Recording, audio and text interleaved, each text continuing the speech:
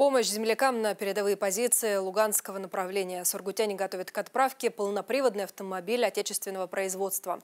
Запрос на него поступил от военнослужащих земляков. Потребность в транспорте большая. Жители региона собирают средства на его покупку и даже сами восстанавливают. Подробнее в репортаже Светланы Круковской.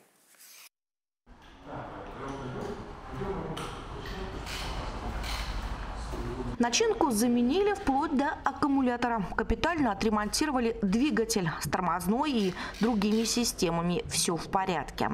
Проверили все критические узлы. На восстановление списанной машины на одном из предприятий Сургута ушло два месяца.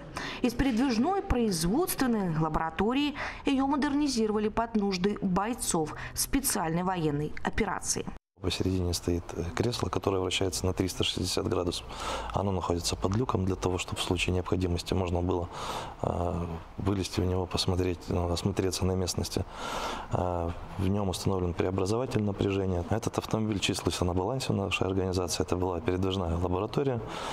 Пробег у него минимальный, потому как она использовалась только в случае необходимости. Теперь машина как новая, осталось только покрасить. После ее отправят бойцам-югорчанам на передовые позиции Луганского направления.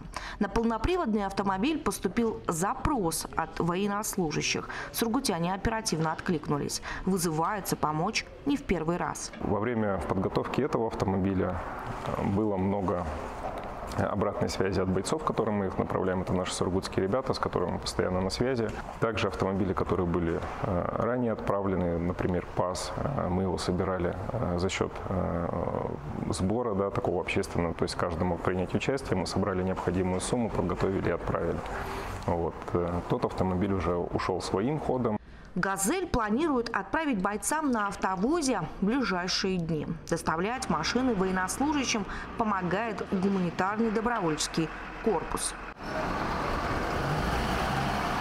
Этот внедорожник доставили из Югры в Луганскую Народную Республику на Большегрузе. Машина для военнослужащего из Сургута с позывным «Техник». До подразделения еще несколько сотен километров пути. Со склада до адресата ее перегоняют добровольцы. Пусть этот автомобиль служит вам верой и правдой, не подведет. Победа будет за нами. Спасибо. Хочу передать спасибо жителям города Сургут, Ахмау за предоставленный автомобиль, а также гуманитарному корпусу за доставку данного автомобиля нам в подразделение. Нам очень необходим был данный автомобиль. Буханка полноприводная, поэтому проедет по любой грязи. Для бойцов СВО в Сургуте сейчас восстанавливают еще несколько автомобилей. Их планируют отправить в этом месяце в подразделение, где служат югорчане. Светлана Круковская, Рашид Латыпов, Вести Югурия, Сургут, Луганская Народная Республика.